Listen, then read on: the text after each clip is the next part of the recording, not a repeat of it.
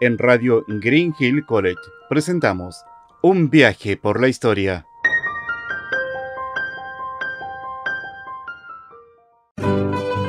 ...15 de febrero de 1811... ...nace en San Juan de Cuyo... ...el ilustre educacionista y publicista... ...don Domingo Faustino Sarmiento... ...que fue el primer director de la Escuela Normal de Preceptores de Santiago... ...falleció en Paraguay el 11 de septiembre de 1888. 15 de febrero de 1821, el gobierno aprueba la fundación de El Pueblo de La Unión por el gobernador Cayetano Letelier. 15 de febrero de 1891, combate de Dolores, participaron 350 soldados del gobierno del presidente Balmaceda, comandados por Eulogio Robles Pinochet y mil revolucionarios al mando del coronel Estanislao del Canto, es la Guerra Civil de 1891.